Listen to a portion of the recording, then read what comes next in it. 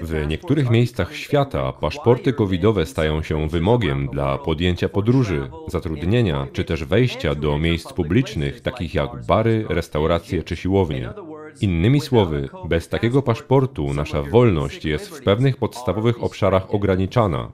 Biblijne proroctwo na czasy końca ostrzega nas przed czymś, co nazwane zostało znamieniem bestii i do którego przyjęcia ludzie będą zmuszeni, bo bez niego nie będą w stanie kupować ani sprzedawać.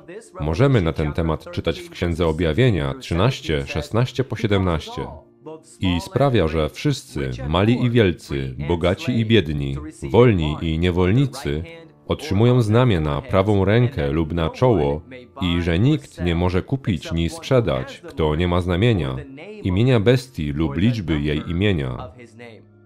W rezultacie niektórzy twierdzą, że to właśnie paszporty covidowe lub też szczepionki przeciwko koronawirusowi są tym znamieniem bestii. O tym właśnie temacie będziemy rozmawiać w tym odcinku. Zanim jednak zaczniemy, chciałbym podziękować Christ Jesus Ministry za zasponsorowanie tego odcinka. Christ Jesus Ministry to chrześcijański kanał YouTube poświęcony głoszeniu prawd Słowa Bożego. Możecie tam obejrzeć wiele interesujących materiałów wideo, takich jak Matematyk obala stwierdzenia Billa Nye, udowadniając istnienie Boga i kreacjonizmu za pomocą matematyki. Przerwanie ciszy na temat sekretnego pochwycenia, czy jak kwestia dinozaurów ma się do Biblii. Kliknij na kartę w prawym górnym rogu ekranu lub link w opisie odcinka, aby subskrybować kanał Christ Jesus Ministry i już dziś oglądać ich materiały. A teraz wracamy do tematu odcinka.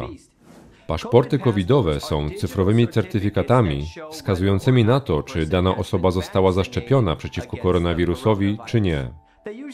Zazwyczaj są to aplikacje dostępne na smartfonie. Obecnie istnieje kilka takich aplikacji w różnych krajach, a kolejne są projektowane. Weźmy dla przykładu aplikację Ayata Travel Pass.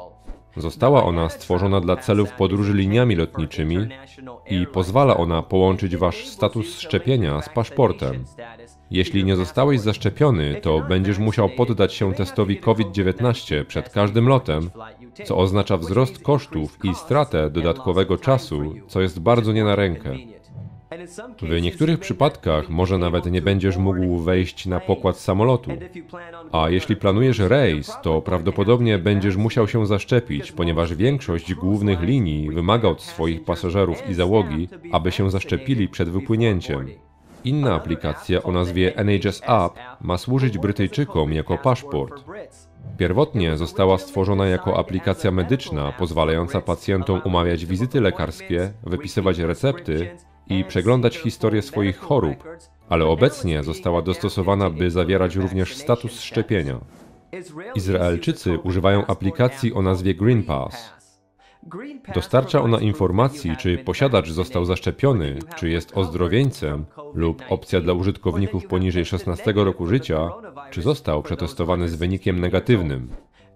Green Pass daje zaszczepionym użytkownikom dostęp do miejsc publicznych, takich jak siłownie, baseny, hotele czy stadiony.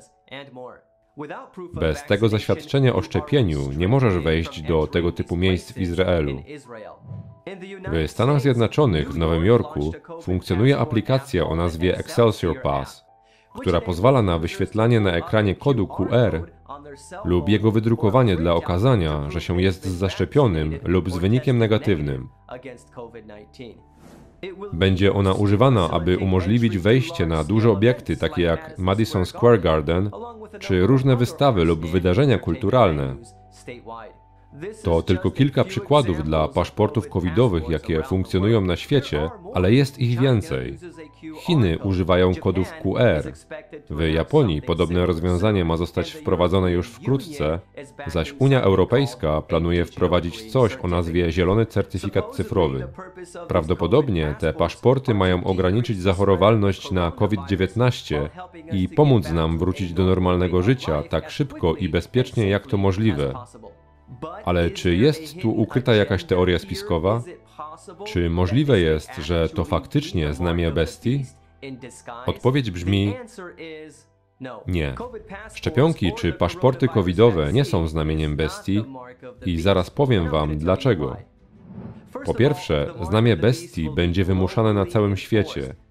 Tak jak czytaliśmy na wstępie, Księga Objawienia 13, 16 po 17 stwierdza i sprawia, że wszyscy, mali i wielcy, bogaci i biedni, wolni i niewolnicy, otrzymują znamię na prawą rękę lub na czoło i że nikt nie może kupić ani sprzedać, kto nie ma znamienia, imienia bestii lub liczby jej imienia. Zarówno szczepionki, jak i paszporty covidowe nie są wymuszane globalnie. Dla przykładu, jak czytamy w artykule serwisu witch.co.uk zatytułowanym Czy będę potrzebować szczepionki przeciwko COVID-19 lub aplikacji NHS, aby podróżować w 2021 roku, tego lata szczepienie nie będzie konieczne dla większości kierunków podróży, ale obowiązkowe dla wielu rejsów, niektórych wycieczek i kilku lotów. Grecja, Hiszpania i Portugalia wydały oświadczenia, że tego lata podróżujący z Wielkiej Brytanii nie będą musieli być zaszczepieni. Jednakże jeśli nie jesteś zaszczepiony, to musisz wykonać testy covidowe, co zwiększy koszta. Dodatkowo, tak jak czytamy w przytoczonym wersecie z Księgi Objawienia, znamię bestii będzie otrzymane na prawą rękę lub na czoło. Paszporty covidowe są w smartfonach, zaś szczepionki wstrzykiwane są w rękę. W wersecie 17 czytamy, że ci, którzy odrzucą znamię bestii, nie będą mogli kupować ani sprzedawać.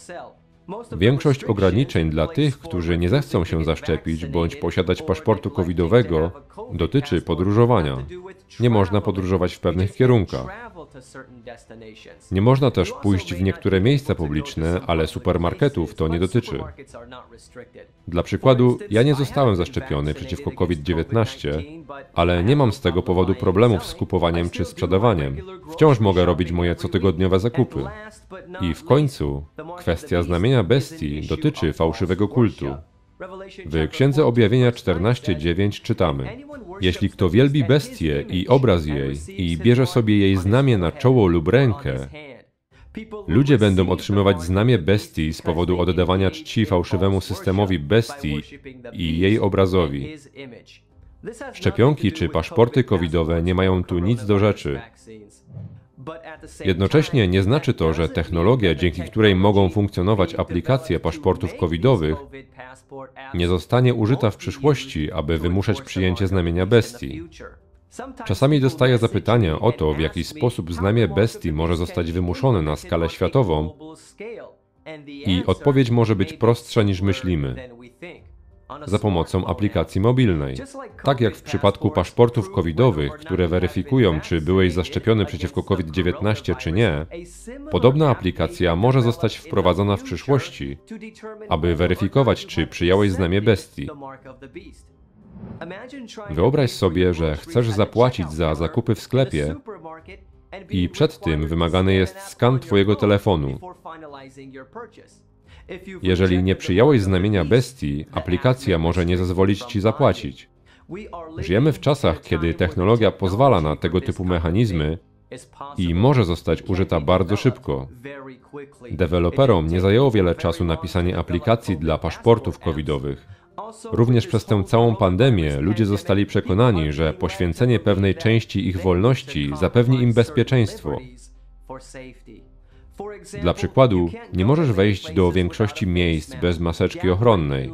Gromadzenie się w większych grupach jest nielegalne, a teraz jeśli nie masz paszportu covidowego, to twoje podróże są ograniczane. To przystosowywanie ludzi do znamienia bestii, dlatego, że gdy zostanie ono wymuszone, zagrożona zostanie też wolność religijna przez zwiększone środki bezpieczeństwa. A mówiąc o czasie poprzedzającym powrót Jezusa, Pierwszy list do Tesaloniczan 5:2 po 3 oświadcza: Sami bowiem dokładnie wiecie, że dzień pański przyjdzie tak jak złodziej w nocy. Kiedy bowiem będą mówić pokój i bezpieczeństwo, tak niespodzianie przyjdzie na nich zagłada, jak bóle na brzemienną i nie ujdą. Zatem zaraz przed powrotem Jezusa, wtedy gdy wymuszane będzie znamie bestii, jednocześnie głoszony będzie pokój i bezpieczeństwo. To, co na temat znamienia bestii powiedziałem w tym odcinku, to jedynie wierzchołek góry lodowej. Jeżeli chcesz się dowiedzieć, czym jest moc bestii oraz czym jest jej znamie z Księgi Objawienia, to polecam obejrzeć film o tematyce proroczej pod tytułem Od Ameryki po Babilon. Oto jego trailer. Od Ameryki po Babilon. Dostępne na Amazon Prime Video. Znamie bestii. O co w tym chodzi? Temat ten jest prawdopodobnie najbardziej dyskusyjny, kiedy przychodzi do wydarzeń czasów końca. Czy jest to mikrochip lub tatuaż? Że ludzie są zmuszani do noszenia go na czole lub prawej ręce? To przypomina tropienie zwierzęcia po jego śladach. Ale jak szukać śladów, skoro nie wiadomo do jakiego zwierzęcia one należą?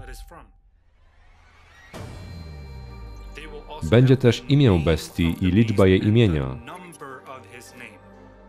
A jaka to liczba? Ta liczba to 666.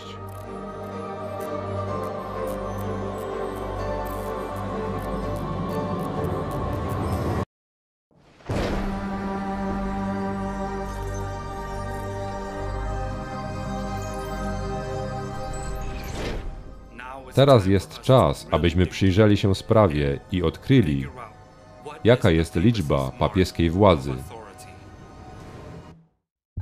Od Ameryki po Babilon. Dostępne na Amazon Prime Video.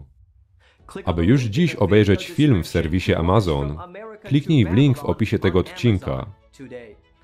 Paszporty covidowe i szczepionki przeciwko COVID-19 nie są znamieniem bestii. Ma być ono wymuszane globalnie, podczas gdy paszporty covidowe i szczepionki nie są. Ludzie otrzymują znamie bestii na prawą rękę lub czoło, a to dyskwalifikuje w temacie paszporty covidowe i szczepionki. Ci, którzy odrzucą znamie bestii, nie będą mogli kupować ani sprzedawać, a nieposiadanie paszportu covidowego czy bycie niezaszczepionym tego nie wyklucza. Czy masz jakieś pytania odnośnie znamienia bestii lub proroctwa czasów końca? Zadaj je w komentarzu, a ja postaram się na nie odpowiedzieć. A jeśli chcesz dowiedzieć się więcej na temat innych proroctw z Księgi Objawienia, takich jak te o roli Ameryki w czasach końca, te o czterech jeźdźcach apokalipsy, dwóch świadkach, o 144 tysiącach i innych, kliknij w kartę do mojej playlisty Proroctwa z Apokalipsy. Jeśli jesteś nowy, nie zapomnij też subskrybować mojego kanału, by pozostać na bieżąco. Wrzuć łapkę w górę i podziel się tym odcinkiem z innymi. Dziękuję za obejrzenie. Niech Bóg Cię błogosławi.